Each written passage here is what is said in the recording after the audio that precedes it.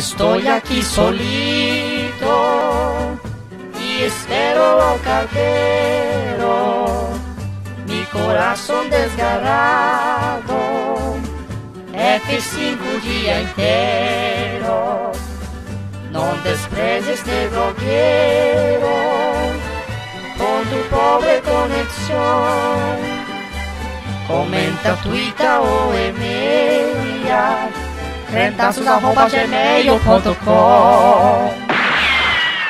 Recaditos, cabrão.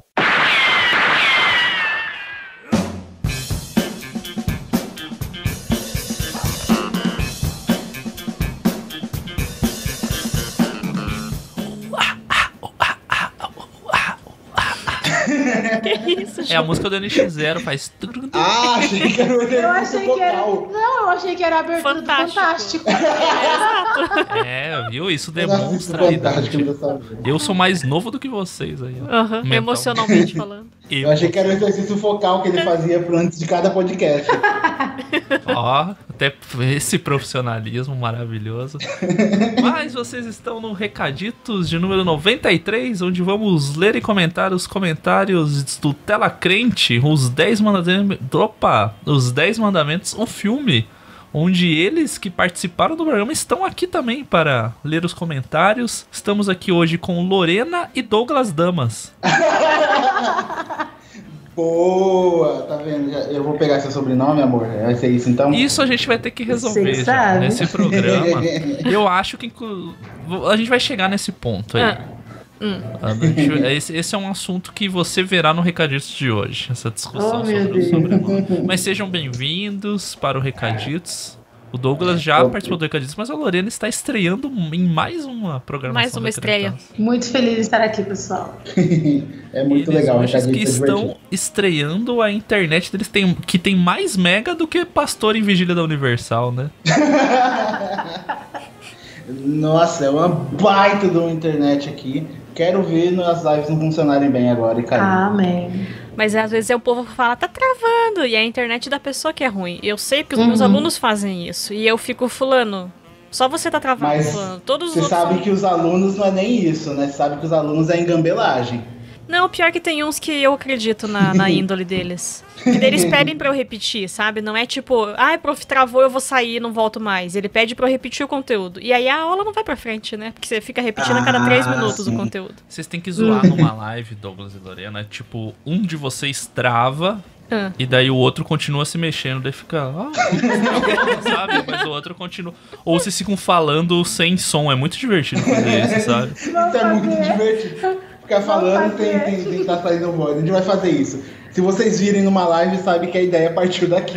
É, ou tipo, se a pessoa faz uma pergunta que vocês não querem responder, daí vocês respondem sem emitir o som, e a pessoa fala, ah, não sei, daí você fala, não, mas aqui tava normal, né? sabe? Daí, ah, veja depois, dá uma assistida depois, vê se sai o som direito pra você, sabe? Mete uma dessa. Amei. Mas, lendo os comentários do programa, começando com o site.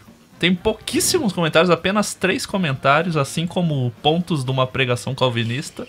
É, o Wilber Martins comentou no site, o sempre presente Wilber Martins. E eu vou ler, Tamires. Ele disse o seguinte: Escutei vocês sem ver o filme, até porque me falaram que ver o filme estraga a experiência do livro. Fantástico, muito bom. Maravilhoso. Tem, tem, tem muita coisa no filme que acrescentaram do livro, né? Então talvez fique Mas você acha que acrescentaram positivamente ou negativamente? Essa é a polêmica agora. E parou a pensar, parou a Tá refletir na fazer resposta. Parou pra pensar. Não, eu tô perguntando tá sua querendo opinião. fazer Tô pegadinha? perguntando sua opinião. Você tá Se querendo você fazer acha que pegadinha? eles acrescentaram e faltou um negocinho ali que Deus esqueceu, ou que eles tiraram, colocaram e foi demais. Qual que é a sua Deus opinião? esqueceu. Bom, como diz a, a. Como chama aquela Glória? Como chama a mãe da Cleo Pires? Glória a Agora é Deus, Pires. não? Glória Pires. Glória aleluia. Glória groove. Agora, como diz a Glória Pires, eu não posso opinar sobre isso. Eu acho que aquele dedinho de Deus lá fazendo as tábuas foi demais. Não precisava fazer uma mão tacando fogo. foi, foi demais. É. Ah, gente, mas vai saber também, né? Às vezes. Às vezes teve, só esqueceram É. de colocar. Esqueceram de escrever ali. Acharam que na hora de escrever fosse ficar difícil de imaginar. Sim, mas eu já avisei e eu vou dar esse recado pro ouvinte do Recaditos de novo. Que se continuar tendo só o Elber que comenta, a gente vai gravar o Recaditos e mandar só pro Elber. Que Vocês estão de palhaçada que vocês não comentam mais no site e no YouTube. Então fica de novo a chamada de atenção, porque senão é só o Elber que vai ter Recaditos daqui pra frente, pessoal. Todo pra você, Welber. Trabalhamos que é pra você mesmo. Servimos bem para servir sempre, né? e no YouTube, Tamires, o que, que tem de comentário? No YouTube nós temos o comentário do Teologando Oficial. E ele disse: Que episódio? Cascasca. Amei muito. Conhece Ah, o eu- Teologando? Conheço, esse é um pessoal de um, de um podcast, eles já gravaram um podcast comigo, um pessoal muito divertido, muito São boa. jovens. São muito jovens, eles têm um podcast que eles chamam os convidados lá. E é muito legal, muito bacana. podcast Eles são jovens que chamam o Douglas de Senhor Douglas. É, Agora chamou minha atenção. Porra, Douglas, você nunca me chamou de senhor, sou mais velho que você. Dos 25 anos, os garotos. e eu falava no meio do podcast pra eles, não precisam me chamar de senhor, pode chamar de você. Eles, não, mas a gente respeita o senhor. A gente- Eu ouvindo o podcast, eu fiquei, meu Deus, eu tô casando com um senhor. Ai, a gente acho que nunca contou essa história no É, eu já até podcast, sei a né? história que veio na cabeça, porque é mesmo. É uma história muito Se boa. você tá casando com o senhor, você É. vai ouvir a história da Tamires, você vai ficar Ah. assustadíssimo. Antes de casar, quando eu tava noiva, eu pesava 47 quilos e a minha cara de criança era ainda mais de criança, né? Então, as pessoas ficavam muito chocadas que eu tinha 22 anos. E aí eu morava com os meus tios e a minha prima devia ter uns 14 naquela época, 12. Deixa eu fazer as contas. É, ela tinha 14 anos. E aí as amiguinhas da escola vinham sempre em casa, né? Bababá, um monte de amiguinha, não sei o quê. Aí um dia o Jonathan chegou comigo, a gente chegou juntos e tal. Ele ficou um pouquinho, tomou café em casa e foi embora. E aí, de- depois, quando tava só a minha, minha prima e a amiga dela, a amiga dela pegou e. Gabi, a sua família não liga da sua prima namorar um homem adulto? Achava que eu tinha, tipo, a idade da Gabi. O Jonathan já tinha barba e tudo mais. Ela ficou chocadíssima. E, tipo, meu Deus, vocês estão deixando uma relação pedófila acontecer e ninguém fala nada? É isso mesmo? Vai Namorar esse senhor. Vai namorar esse senhor aí. E quando eles falavam de Jesus, era tipo Senhor, Senhor, daí, no programa? ou- Essa é uma, uma boa questão. Acho que não surgiu lá, mas é, é uma boa questão. Se O fosse Teologando deve estar ouvindo aí. Universal, por exemplo, e eles estavam respondendo, vocês iam falar, Jesus Cristo é o Senhor, Senhor. Ó, mas eles já ganharam um respeito aqui que eu entrei no canal do YouTube deles e teve uma live de festa junina, só que há dois meses atrás, que no caso já era agosto, então Agostina. agostina. É que é Mas, muito mais cristã, que é uma festa agostinha. Mas vou ter que dar uma fuçada aí no canal deles, fiquei curiosa. E eles são adventistas porque a, a, a fumacinha que sai da xícara de café deles parece o logo da igreja adventista. É uma mensagem subliminar. detalhe. As coisas que repara. Vocês têm um, um dom de reparar num, nos detalhezinhos incríveis. Uhum. O trabalho do editor é isso, É. né?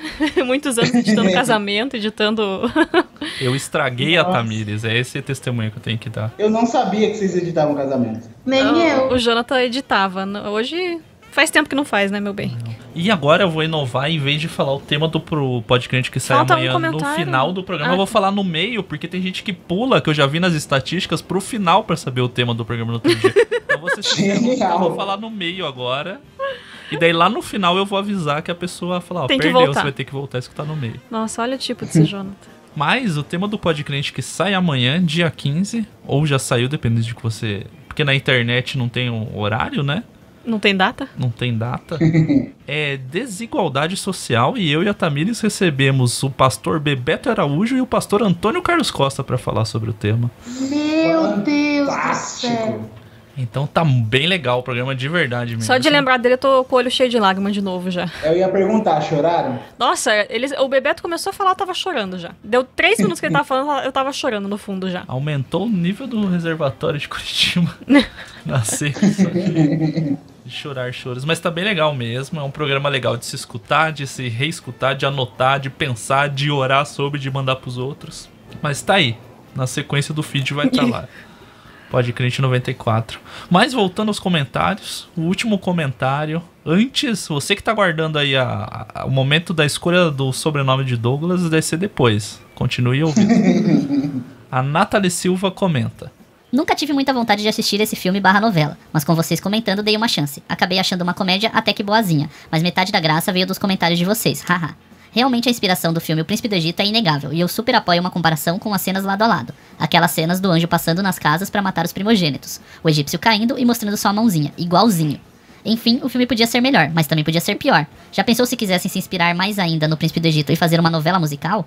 A atriz que fez a Maísa cantando Milagres São Reais antes da travessia seria interessante. Haha. Valeu pelo episódio, gente. Beijo pra vocês também. Eu acho que interessaria mais pra mim ver se fosse um musical. Nossa, não. Não, Não. acho que não. Não, não, não, não. É que não, as não. pessoas já são ruins atores. Imagine atores que precisam cantar. Ia ser deplorável. Eu queria aqui defender, eu já defendi, eu vou defender de novo. Gente, a novela não foi ruim. Ela foi incrivelmente longa, porém foi uma novela boa. O filme ficou ruim porque ficou picotado, deu pra perceber que tá picotado. Dá, dá Mas a sim. novela ficou. Gente, a novela ficou muito boa, sério. Muito boa, assim. Não, né? eu tô dizendo aqui que ficou muito boa. Eu estou Ok, pondo minha ok. cara. Eu estou aqui como Lorena, não como integrante de Teologueiros. Teologueiros nada a ver com isso. Pessoa que a novela ficou boa. As opiniões de Lorena Damas não, não são a opinião de toda vez. É, o Teologueiros não, não tem base, na minha opinião. Mas, gente, a novela foi muito boa, era muito gostoso de acompanhar. Tipo assim, encheram muita linguiça. Claro que tem as histórias extras que não tem nada a ver pra poder dar um enredo da novela, mas ficou muito legal. A, a, a cenografia, tudo. Eu amei a novela, a novela foi boa. Vou defender a novela até o meu túmulo. Mas eu queria ver alguém que fizesse essa comparação entre Príncipe do Egito lado a lado com a novela. Pra Eu- gente eu ver a- providenciar isso aí. Se Crentaços de, de tá tempo pra isso. fazer essa edição aí. Ou se o Ribamar tiver co- re- É. quiser ressuscitar o Ministério de Se o Memes. Ministério de Memes quiser voltar aí no meio da pandemia, a gente aceita. Tem essas ideias que a gente tem pra conteúdo que não cabem no Teologueiros, a gente joga tudo pra vocês fazerem.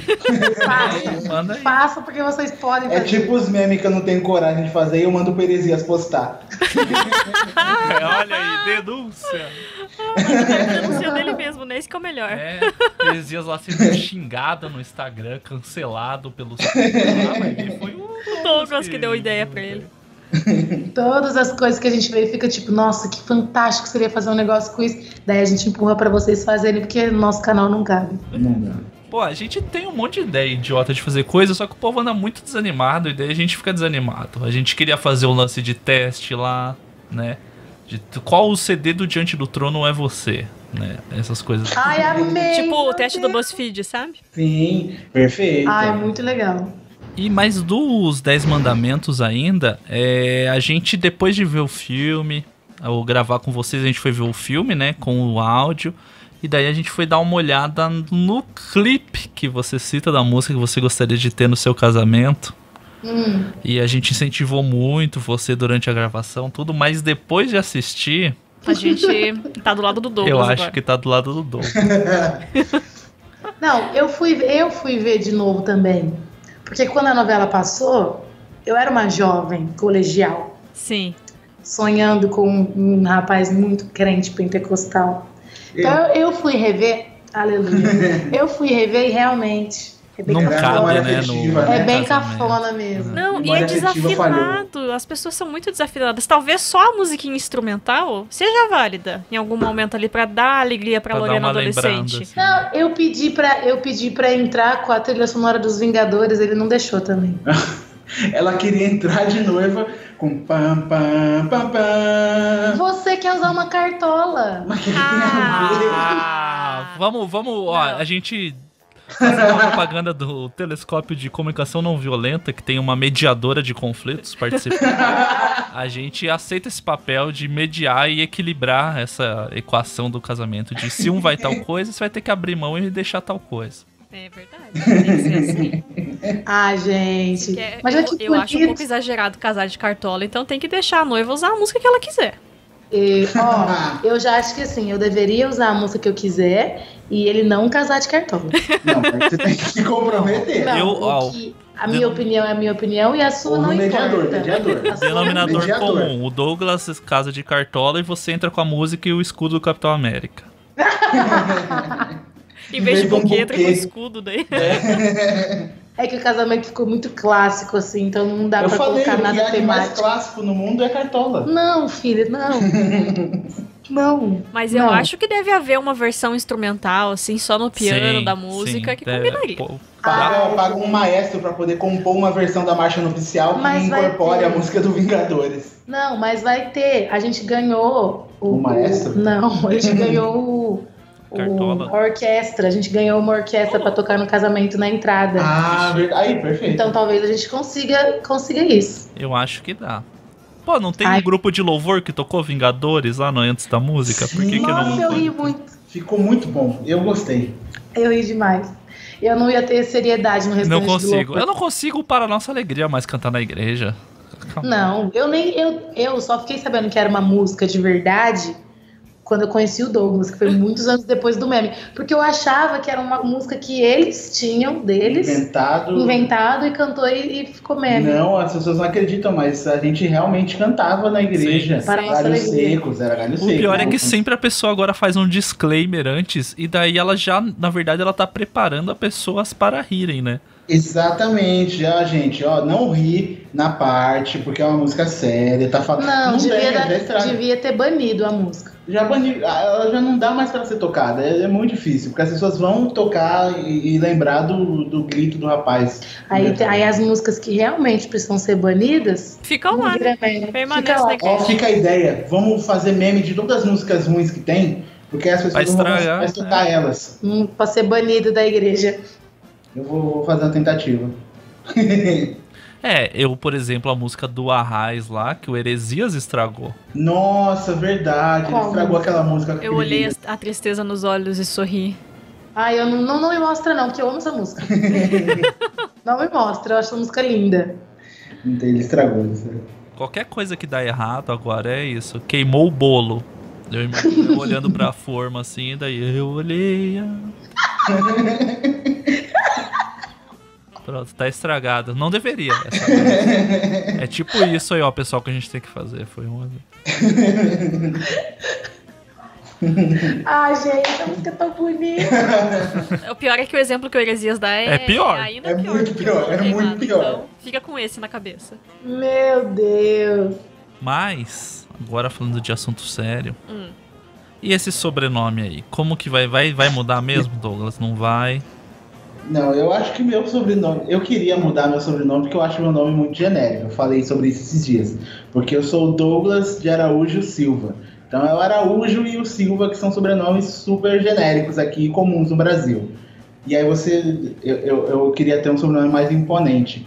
Mas eu não acho que Dama seja uma opção mais imponente do que Araújo ou Silva. Uai, quantas damas você conhece? Você. É, e só. E aí você tá falando que o meu nome não é imponente? Estou falando que pra mim não é. Ah, meu Deus. Quantas damas você conhece? Poucas, você e sua mãe. Exatamente, na internet quem tem de damas? Não sei. Eu. É, não conheço muita gente, ó. E ficar um. Você pode usar o, parecendo o um nick. personagem do, do, do- da Marvel, Douglas Então, Damas. eu ia falar maravilhoso. Você pode usar Jonah D2 também, sabe? Deu ao quadrado. É, você fica um double damage também. Só tem vantagem. Ou você pode adotar teologueiros, que daí vira Douglas Teologueiros mesmo, que já tem gente que chama assim, ó, já fica Já sobrenome. tem muita gente.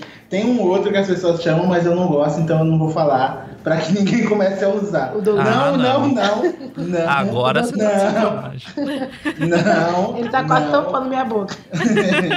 Agressão. Ô, louco. Ou por que você não põe Douglas Dodopoc?